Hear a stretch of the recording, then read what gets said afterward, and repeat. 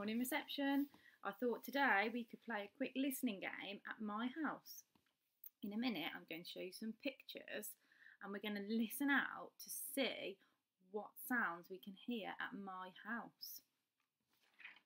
I've got six different things on this paper that make different noises. We're going to stay very quiet and keep our ears open so we can hear which one it could be. Once you've done that, maybe you could have a try at your house or go into your garden and see what you can hear. But remember, you have to stay quiet and listen with your ears. Are you ready? You ready? I've got some pictures here. We're going to listen to the sound and see if you can guess which one it is. Off we go.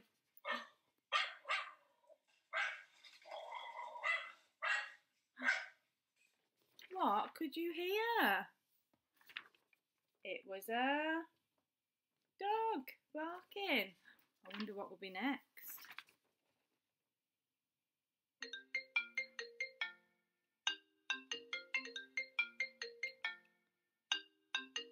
Sounds like a phone. That's right.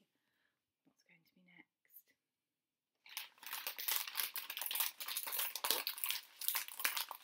Oh, that sounds like somebody's having a packet of crisps. Yummy. What will be next?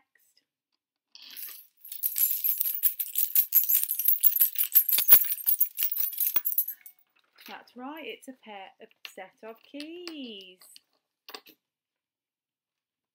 Next one. Oh, that's it, turn those listening ears on. Which one could it be? I think that was the Hoover. There's one more sound that we're going to listen for.